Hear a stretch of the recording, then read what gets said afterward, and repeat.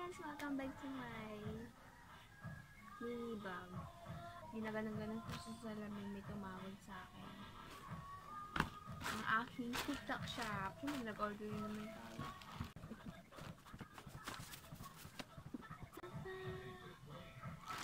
Ito siya. Sa halagang 19 pesos. Buksan na natin. Siyempre gagamitin natin to.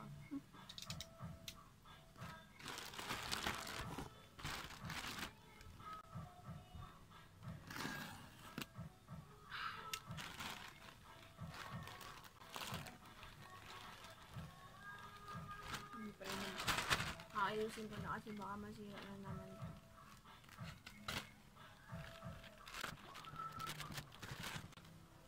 Siya. Bakit kulay white na? Akala ko kulay black.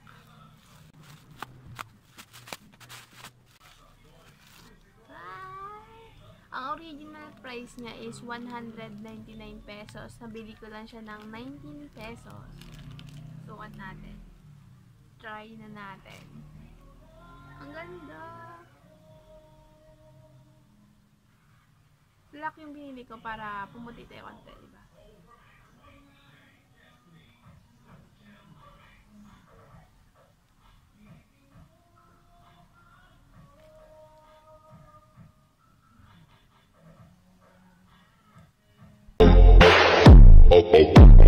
Up, up, up, up, up.